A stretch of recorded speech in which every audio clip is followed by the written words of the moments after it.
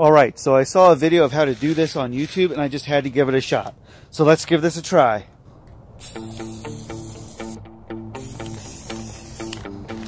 Newspaper. And then some black. And a bowl. Some white.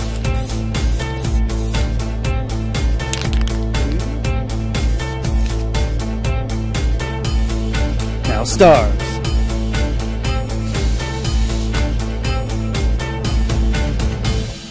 Whoa!